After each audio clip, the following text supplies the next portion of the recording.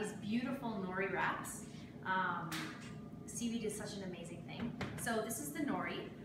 Actually, how they make this is they take nori, then they blend it in a machine until it's like wet, and then they pour it on a dehydrator. And so this isn't like, you don't get this in the ocean, right? It's blended and re uh, dehydrated. So it all is back together again. Uh, so we're going to put shiny side down. Uh, actually, if you could get just a small, just fill this up with water, that would be great. Okay, so the first thing we want to do pate on about a third, sorry, two thirds of, or three quarters of the nori. Um, so we can choose whichever pate we want. This is the Save the Sea pate. So we just kind of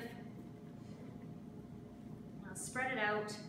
Some will be easier to spread and some won't, but that's fine. We don't want it too thick. Another, another good spoon is good.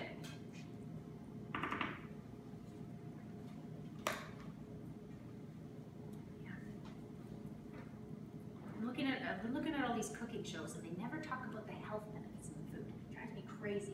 So carrots are good for your eyes, full of all kinds of you know, vitamins and minerals. And then we've got sour or lemon, which is alkaline, and go on forever.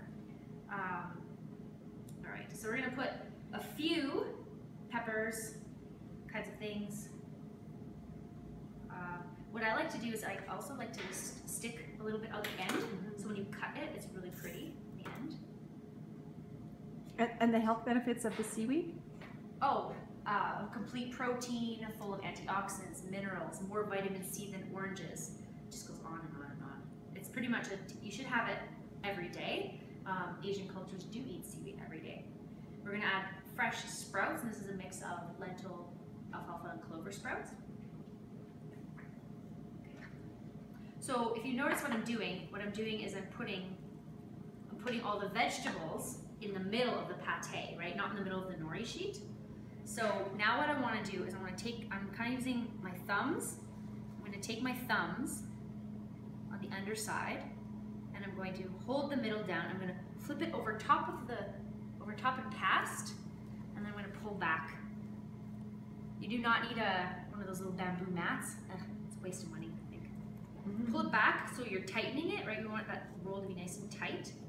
Roll it super tight. And then what we want to do is take a bit of water and just place it on there so the end sticks. Okay, and then you got, now if you're like me, you just eat it like Yeah. that. Yeah, that's it. Send those to work? Yeah. Holy cow. They're Yeah. Like you're a hit in the office. I'll. Wow. So we're gonna take our awesome perfect Cutco lunch. knife. And uh, this is actually why it's really important to have sharp knives for this. We want to do is just slice it. We want to slice back and forth. If we just push, it'll squish the nori. We don't want to squish it. We just want to slice it back and forth. Now each nori should yield eight, eight pieces. So actually, each of us should be able to get one piece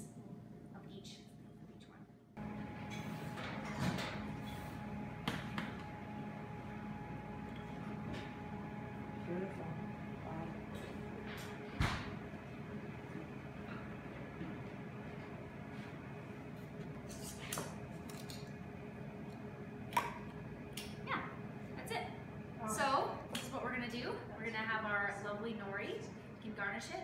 But what's really amazing is we're gonna set out all eight plates